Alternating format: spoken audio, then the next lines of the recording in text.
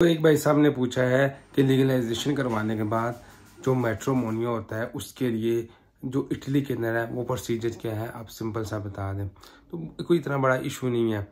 First of all Pakistan के अंदर से आपके जो डॉक्यूमेंट्स हैं, वो ओके होने चाहिए। उनमें F R C M R C निकालनामा birth certificate ये चार चीज़ें होती हैं।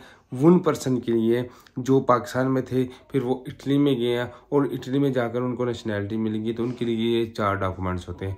और जो बाय बर्थ इटली में ही पैदा होते हैं, बचपन से ही इटली में रहते हैं, और उनके लिए क्या चीज़ होती है? उनके लिए आप कह सकते हैं कि एफ़ आर सी की इसके अंदर ज़रूरत नहीं होती। तो सिंपल सा, जो marriage certificate M R C और जो होता है, जो पर्सन बुला रहा है, उसका बर्थ सर्टिफिकेट इसकी ज़रूरत होती है। तो सिंपल इज़ डैट आप इन सारे डॉक्यूमेंट्स की चेकिंग करवाएँगे फॉरन ऑफ़िस अटेस्टेशन होगी ट्रांसलेशन होगी लीगलाइजेशन की यू वाली आपको अपॉइंटमेंट अवेल करना पड़ेगी।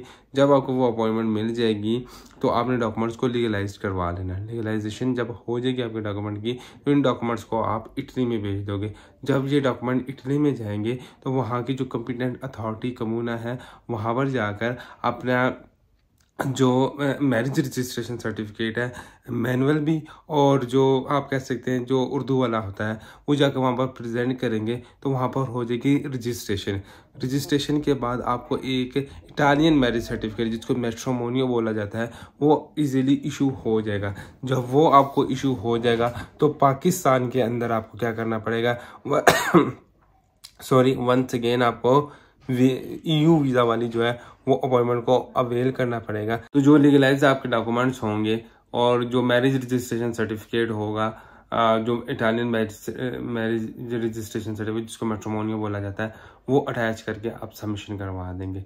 अब यहाँ पर रही बात अपॉइंटमेंट की तो लीगलाइजेशन की अपॉइंटमेंट और फैमिली रीयूनियन वीज़ा की अपॉइंटमेंट ये दोनों जो अपॉइंटमेंट्स हैं वो वाया ईमेल्स रिसीव्ड होती हैं। अब ऐसी को बहुत ज़्यादा ईमेल्स करनी पड़ती हैं। उसके बाद जाकर आपको जो है वो अपॉइंटमेंट मिलती है। होपफुली वीडियो आपके लिए वैल्यूबल ही होगी।